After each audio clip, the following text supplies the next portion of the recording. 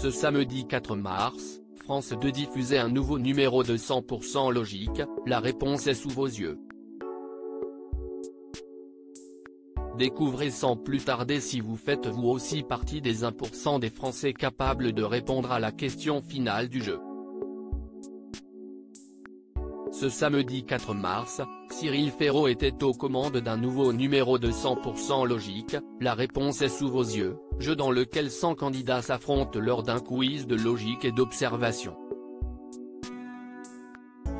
Les participants répondent ainsi à une série de questions allant de la plus facile, celle à laquelle 95% des Français sont capables de répondre, à la plus difficile, celle à laquelle seulement 1% de la population est capable de répondre.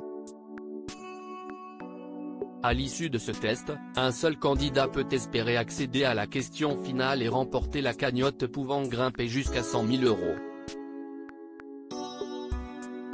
Pour les accompagner, trois célébrités étaient en plateau afin de tester, elles aussi, leur sens de l'observation, la comédienne Fabienne Cara et les journalistes sportifs Johan Rioux et Laurent Luyat.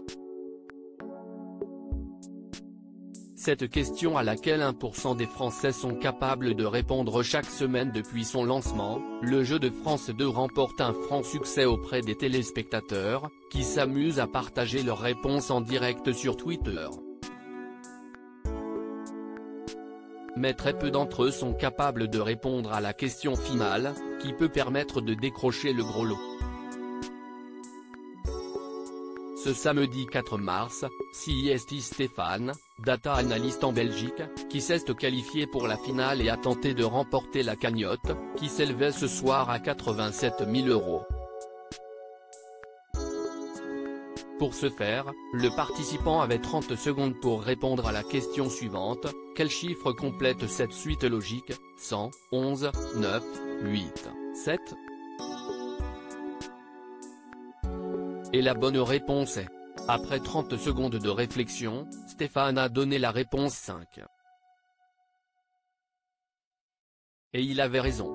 Comme l'a confirmé Cyril Ferraud au téléspectateur, pour comprendre cette suite logique, il fallait écrire les nombres proposés en toutes lettres, 100, 11, 9, 8, 7. Ces nombres sont tous composés de 4 lettres et sont classés dans l'ordre décroissant. Après 7, le prochain chiffre dans l'ordre décroissant qui s'écrit avec 4 lettres et 5, a expliqué l'animateur, avant de féliciter le grand gagnant du jour. Alors, faites-vous partie des 1% des Français qui ont été capables de répondre à cette question? À lire aussi Cyril Ferraud, son doigt d'honneur à ses détracteurs au début de sa carrière avec son rôle de Cyril Gosbo dans Fort Boyard.